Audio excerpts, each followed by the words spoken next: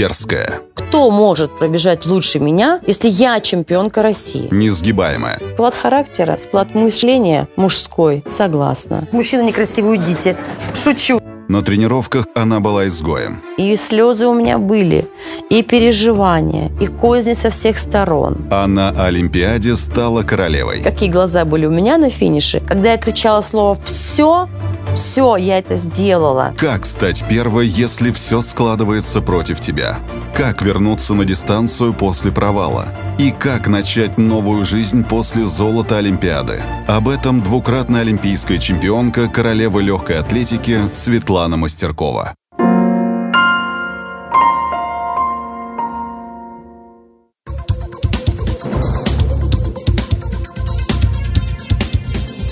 1996 год. Олимпиада в Атланте. Дистанция 800 метров. Она первая. Дистанция 1500 метров. Она снова впереди всех. Светлана Мастеркова выигрывает сразу две золотые медали и получает звездный титул «Королева легкой атлетики».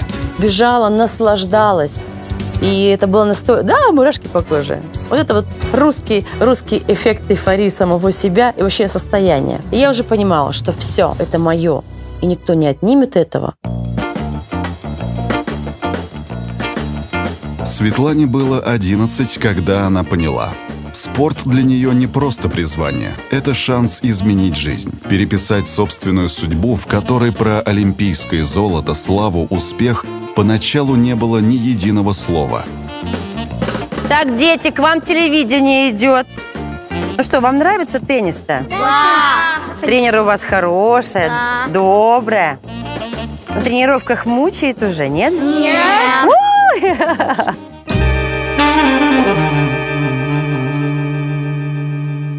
Вам сказали 10 упражнений сделать, надо 10 упражнений делать. Сказали 100, надо 100 делать. В легкую атлетику Свету Мастеркову притащили буквально за шкирку. В советское время тренеры ходили по школам, отбирали детей в спортивные секции. Девочка так быстро пробежала пробную дистанцию, что всем стало ясно – это бегунья от Бога. Но ходить на тренировки и работать до изнеможения она была не готова. Много раз я уходила из легкой атлетики, потому что порой чего-то я не понимала. Но не понимала, потому что а, никто не думал, что маленькой девочке нужно объяснять, для чего ты бежишь кросс, для чего вот это упражнение, для чего ты это делаешь. Я, конечно, была такая немножко строптивая. О спортивных победах Света тогда не думала. Ей хотелось только одного – поскорей увидеть маму. Мама работала поваром, Большую часть времени она жила в Красноярском крае. Я жила в Ачинске. То есть это нас разделяло порядка 400 километров. Я жила с бабушкой, со своими тетями взрослыми. Моя семья должна была состоять из мама, папа и я. Она состояла только из я. Единственным способом общения с мамой были письма. Но все послания Света перед отправкой внимательно читала бабушка. Она говорит, Свет, Маме сейчас очень сложно, она одна, она зарабатывает на квартиру. И когда ты ей пишешь, что у тебя все плохо, поверь, от этого ей там не очень хорошо. И вот с 13 лет опять выработалась у меня другая составляющая в, моей, в моем характере. Никогда не говорить, что тебе плохо. На любой вопрос, как у тебя дела, что у тебя происходит, я говорю, у меня все хорошо. Свой первый серьезный забег Мастеркова не сможет забыть никогда. Почти всю дистанцию она шла первой но победа досталась другой. Я упала, и еле-еле я встала, а, не рассчитав силы, дошла, перед, вот, а, ленточки уже не было, потому что я на финиш пришла одной из последних. И это, с этой ленточкой ушла другая девочка, стала чемпионкой. Ей подарили шикарную, большую, красивую куклу. И вот все началось из-за этой куклы. Эта кукла должна быть такая же у меня, потому что я тоже достойна.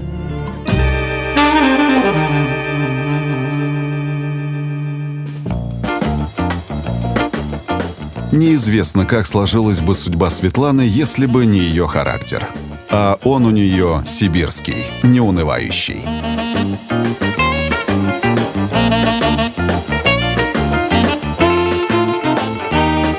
Мы когда с ней познакомились, она сразу спросила меня, слушай, ты ли с севера или с Сибири? Я говорю, я вообще с севера. Ха-ха-ха, посмеялись. Вы знаете, вот северян и сибиряков видно за не знаю сколько километров этих людей. Потому что мы так и не стали москвичками. В Москву в Центр олимпийской подготовки Света Мастеркова приехала в 15 лет. К этому времени она уже получила разряд мастера спорта международного класса. Надо было двигаться дальше. Но в сборной страны никто из тренеров с ней работать не рвался. Все говорят, что я талантливая, но ничего не происходит. Как-то все не получалось, как-то вот все не так было. Жить в Москве ей было не на что. А тут еще и подруга попросила съехать с квартиры. Это стало последней каплей. Света купила билеты домой, в Ачинск. Оставалось передать долг знакомой. Сделать это она должна была через тренера, Светлану Стыркину. Светлана Павловна Стыркина, она очень такая любопытная женщина. Она говорит, а фамилия как твоя? Я говорю, Мастеркова. Она такая, ты бежала на чемпионате Москвы в таком-таком-то году. Я говорю, я? Как? Я ж тебя ищу. Я тебя давно ищу. Значит так, 2 сентября ты приходишь на стадион «Динамо», ну, знакомиться с нами. Я тебя представлю тренеру Якову Исааковичу Ильянову. Группа Стыркиной восприняла Мастеркову в штыки. Плотная румяная блондинка с ярким макияжем. Что она вообще может? Дело дошло до ультиматума. Или мы, или она. Стыркина уперлась. Я буду ее тренировать. И все. И она, и я. 18 лет. Вы знаете, как в гареме. Женский коллектив. Выживание, выживание. э, внимание тренера. Взять тренера. Чтобы все внимание только ему. Я в этом гареме такой порядок навела, что и им жить давала, и себя не обижала. Я проявила, я убедила своими результатами, своими тренировками, своими надеждами тренера на меня. В итоге я стала тренироваться одна. Я заслужила внимание падишаха.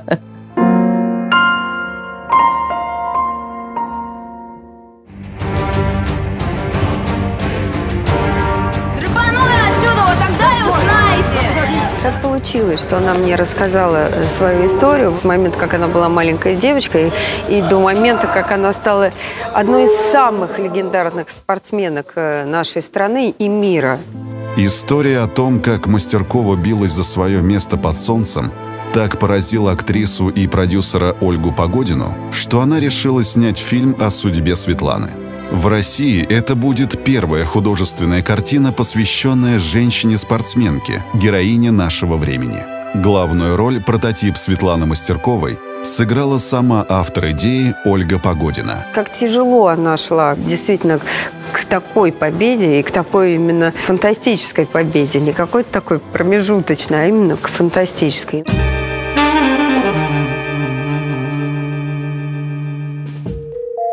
К Олимпиаде в Барселоне Светлана Мастеркова шла целых 15 лет. Жила и тренировалась на грани возможностей. Работала до истощения. У меня были моменты, когда я шла с тренировки и, сказала, и говорила себе, что я больше не вернусь. Я не могу ни идти, ни кушать, ни спать. Настолько я выработала порог В 92-м у Мастерковой был лучший результат в мире на средних дистанциях. Она, как никто другой, могла рассчитывать на олимпийское золото. Беда случилась там, где не ждали. В тот вечер Светлана вместе с командой возвращалась на автобусе в Москву со спортивной базы в Подольске. Я не очень удачно сидела вот эти полтора-два часа, пока мы ехали. У меня в позвоночнике сдвинулись диски. Какая-то была кочка, мы на нее напрыгнули. Она почувствовала острую боль в спине, но не придала этому значения. Через несколько дней стартовал отборочный забег. Мастеркова бежала на дистанции 800 метров. У меня отнимается правая нога с резкой болью. Я останавливаюсь и не верю своим глазам, не верю своим ощущениям. Я рыдаю, я реву, как волчонок на весь стадион, потому что я понимаю, что путевка на Олимпийские игры вот только что ушла у меня из-под ног. Отчаяние было такое на психологическом уровне, на неврозном уровне. Я понимала, что мне нужно идти на тренировку, мне нужно пойти к людям, чтобы начать слышать их слова, поддержку, чтобы начать понимать, что другого варианта, к сожалению, нет. Нашла в себе силы, только я нашла в себе. Никто не может тебе помочь. Никто.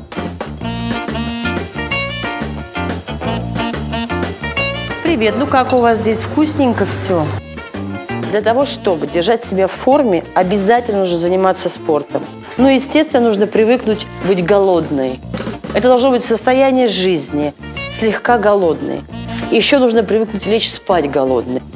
Она и сейчас умеет держать себя в форме. И тогда, после пропущенной Барселонской Олимпиады, Светлана смогла быстро восстановиться физически. На чемпионате мира снова была готова дать бой. И дала бы, если бы не мороженое. Здесь, конечно, оплошность. Но оплошность и опыт. Я съедаю кусочек мороженого, потому что есть хотела очень. И тут же подумала, лучше не буду рисковать. Лучше я буду голодная, потеряю сознание, но только не мороженое. Я выбрасываю мороженое, я доезжаю до гостиницы, вечером температура 40 гланды. Она все равно побежит отборочный тур. В раздевалке ее будет рвать кровью. Но об этом не узнает ни тренер, ни врачи. А в финале ей просто не хватит сил. Светлана сойдет с дистанции. То поражение обернулось для Мастерковой нервным срывом. Надломило психологически. Стало ясно, в спорте ей необходимо взять тайм-аут.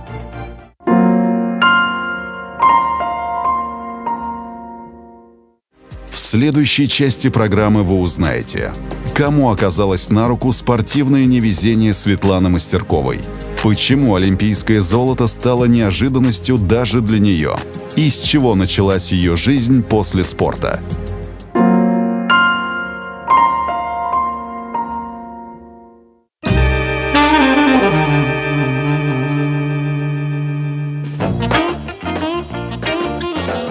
Это вот так вот, да?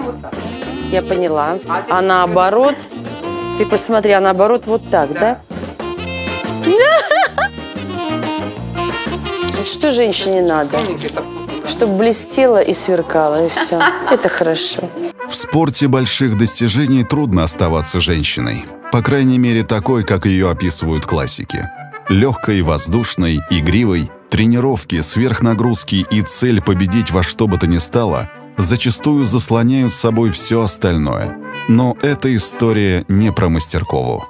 Молодец, камера, фотоаппарат идет. С велогонщиком Асятом Саитовым Света Мастеркова познакомилась в Ашхабаде в конце 80-х. Он в то время союзная знаменитость, красавец, завидный жених. Мастеркова – подающая надежды спортсменка. Он был очень беспечный в тот период времени. И, конечно же, девушки за ним ухлёстывали и старались почаще попадаться на глаза, где-то там общаться с ним, дабы я не приним... никакого внимания не уделяла ему, потому что для себя я понимала, что этот, этот парень, этот мужчина, ну, не мои, ну, не моей категории.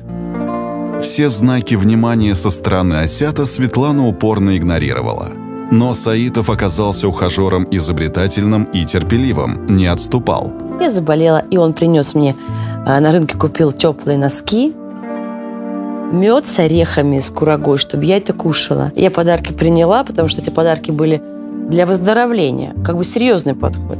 И вот с этого момента начались наши дружеские отношения. В 93-м, когда Светлана тяжело переживала свои неудачи в спорте, Саитов единственный, кто не огорчался по этому поводу.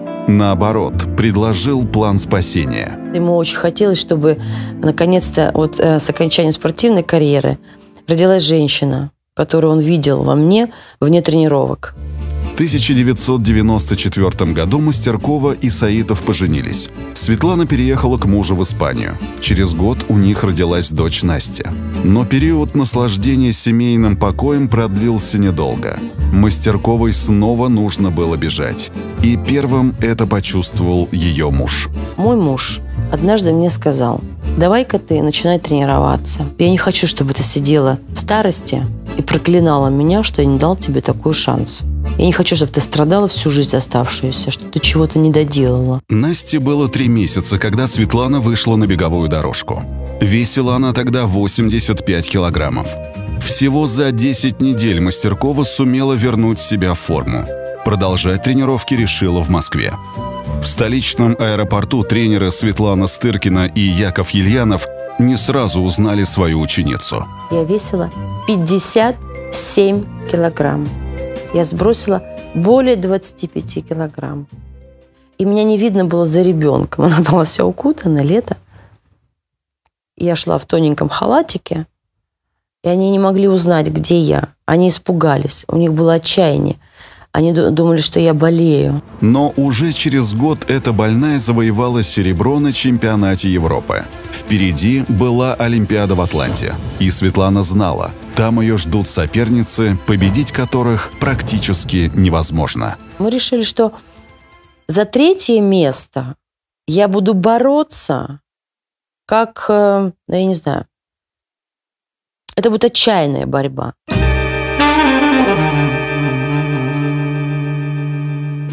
Дим, привет. Ну как дела? Хорошо. А что у нас один пропуск всего? Кто это? А где у вас радио? Радио было у вас. Нет, сейчас нет. А вы что, пес по спине передаете его? Я же специально его сказала, чтобы хоть как-то, хоть какие-то новости, информация. Если что, нам сообщите. Обязательно, обязательно. Глядя на Светлану, всегда уверенную в себе, не сомневаешься. Дай ей любое дело, она горы свернет. Но в 96-м в Олимпийской Атланте на победу Мастерковой никто не ставил. Фаворитками на ее дистанциях значились другие бегуньи. Звезды легкой атлетики кубинка Анна Фиделия Кирот и Мария Мутала из Мозамбика. Перед Светланой же ставили задачу – зацепиться за третье место. За где-то 250-300 метров я уже поняла, как дышат мои соперницы. Я их сравнивала с собой. И я понимала, что у меня только начинается дистанция, а у них она подходит к концу. Я понимала свои силы. И я начала увеличивать темп понемножку, потихоньку. В этот момент мой тренер начала сидеть. Перед стартом тренер Мастерковой Светлана Стыркина просила свою ученицу только об одном – не выходить на финиш раньше времени. Сил на победу может не хватить. Света обещала, но сделала по-своему. И когда я уже сказала себе, хватит, уже беги, выигрывай, за 110 метров до окончания дистанции, я таким резким движением ушла от соперниц, что я только наращивала, наращивала, и уже невозможно было меня остановить. Финишировала она первой, с огромным отрывом. Какие глаза были у меня на финише, округленные. Они не то чтобы... Я не то чтобы не понимала, что произошло. Когда я кричала слово «все», все, я это сделала. То есть э, эйфория была такая. На пресс-конференции после забега журналисты даже не понимали, о чем спрашивать новоявленную чемпионку. Накинулись с вопросами на ее соперниц. Вообще со мной не разговаривали журналисты. Им было и мнение Анны Фидели Кирит и Марии Мутелы. Что произошло? Вы же фаворитки. Как вы ее, обо мне в третьем лице, как вы ее упустили? Никто ее не знает, никто вообще. Кто это? Идентифицируйте ее. И тогда Анна Фиделя Кирит сказала, еще будет 1500 метров, и она ее бежит. И вы поймете, кто такая вот эта девочка из России. Дистанцию 1500 метров Светлана бежала как на крыльях. Это была ее вторая золотая медаль Атланты. И когда я приехала а, уже на трамвайчике, уже внутри Олимпийской деревни, то я ее спрятала вниз. И со мной сидел парень напротив какой-то там из какой-то, какой-то сборной. И он увидел ленточку олимпийскую. И он мне говорит, медаль? Я говорю, угу. Он, какая? Я говорю, gold. Он такой, нет! Такой встал на колени. Пожалуйста, пожалуйста, пожалуйста, покажите. Я такая вынимаю. Такая, вот. И он молодец. Он пальчиком потрогал, пальчиком, чтобы отпечаточек не оставить. Потому что я вот так ему вот показала ее, как вот я бы ребенка показала.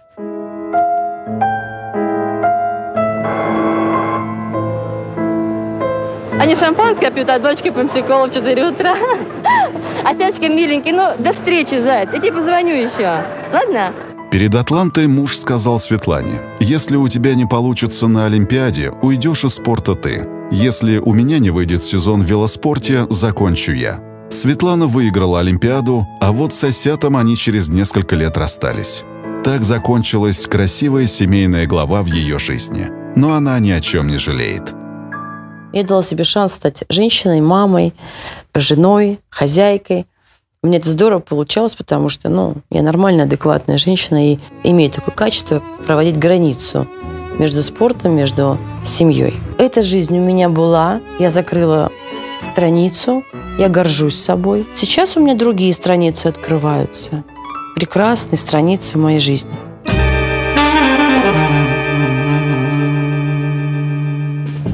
2000 году Мастеркова попыталась повторить успех Атланты на Олимпиаде в Сиднее, но помешала травма. Мастеркова снялась с соревнований. Стало очевидно, что со спортом нужно прощаться. Но что делать дальше? Куда бежать? Мне страшно быть никем. Мне страшно быть забытой. Мне страшно, когда мне не звонят друзья. Мне было бы страшно, если бы я вдруг когда-то сама себе сказала, не хочу работать, не хочу уставать, не хочу плакать, не хочу болеть, не хочу травмы. Не хочу, не хочу, не хочу. Светлана хотела и не боялась пробовать. Работала на телевидении, учила языки, защитила диссертацию. А потом пришла в департамент спорта города Москвы и сказала «Хочу быть в вашей команде». В Мастерковой увидели потенциал. Доверили ей самое ценное – подрастающее поколение. Назначили директором Дворца детского спорта. Работы там было непочатый край. Взять вот этот детский стадион, вот этот, который ей поручили, таком разрушенном виде, в таком ужасном. И вот ставят туда Свету Мастеркову. Представляете? Да, спортсменку, да, которая никогда не была ни чиновницей, нигде вот в таких структурах не работала. И я ей говорила, боже, Света, что ты делаешь? Как ты согласилась? Ты сейчас придешь, там этот коллектив, да, они тебя сожрут, они тебя... Света сказала, что? Просто запоминайте, чем я горжусь. Если раньше в манеже в день присутствовало 20 человек, сейчас более тысячи в день. Ежедневно. Да. Время показало, что ставка на Мастеркову была правильной. Через год работы на новой должности Светлана добавила в свою копилку еще одну медаль. Мэром Москвы мне была присуждена премия «Лучший директор, спортив, спортивный директор года». Добиться таких результатов – это моя еще одна в карьере золотая медаль.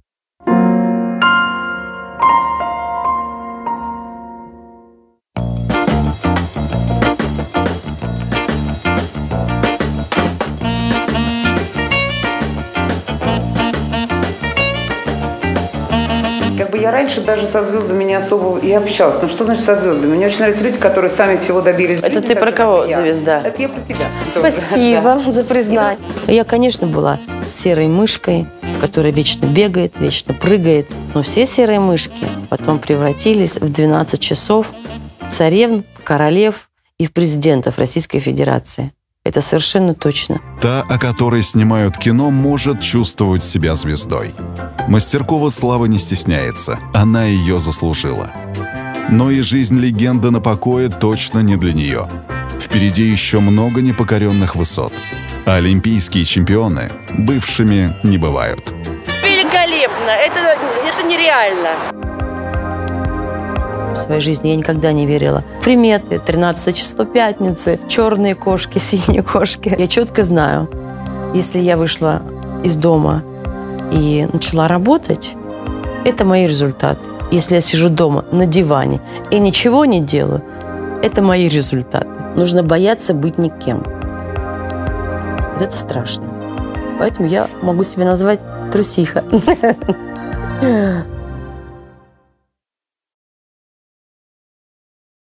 1996 год.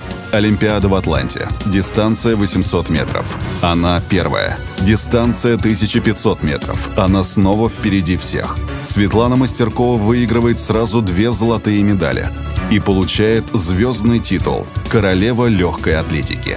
Бежала, наслаждалась. И это было настолько... Да, мурашки по коже. Вот это вот русский, русский эффект эйфории самого себя и вообще состояния. И я уже понимала, что все, это мое. И никто не отнимет этого. Светлане было 11, когда она поняла. Спорт для нее не просто призвание, это шанс изменить жизнь, переписать собственную судьбу, в которой про олимпийское золото, славу, успех поначалу не было ни единого слова. Так, дети, к вам телевидение идет. Ну что, вам нравится теннис-то? Да! Тренер у вас хорошая, добрая. На тренировках мучает уже, нет? Нет!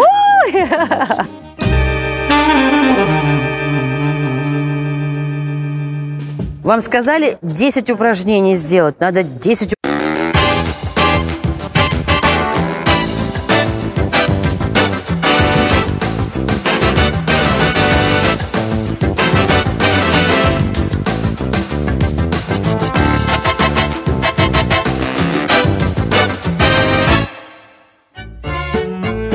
Дерзкая, Кто может пробежать лучше меня, если я чемпионка России? несгибаемая, Склад характера, склад мышления мужской. Согласна. Мужчина некрасивый, уйдите. Шучу. на тренировках она была изгоем. И слезы у меня были, и переживания. Упражнения делать. Сказали 100. Надо 100 делать. В легкую атлетику Свету Мастеркову притащили буквально за шкирку. В советское время тренеры ходили по школам, отбирали детей в спортивные секции. Девочка так быстро пробежала пробную дистанцию, что всем стало ясно – это бегунья от Бога. Но ходить на тренировки и работать до изнеможения она была не готова. Много раз я уходила из легкой атлетики, потому что порой чего-то я не понимала. Но не понимала, потому что никто не думал, что маленькой девочке нужно объяснять. Для чего ты бежишь? И козни со всех сторон. А на Олимпиаде стала королевой. Какие глаза были у меня на финише. Когда я кричала слово «все», все, я это сделала. Как стать первой, если все складывается против тебя? Как вернуться на дистанцию после провала? И как начать новую жизнь после золота Олимпиады? Об этом двукратная олимпийская чемпионка, королева легкой атлетики Светлана Мастеркова.